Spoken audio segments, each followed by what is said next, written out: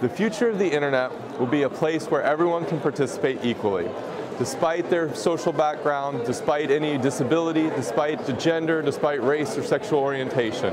A place where everyone can access and use the knowledge and communications capacity of the internet on an equal basis.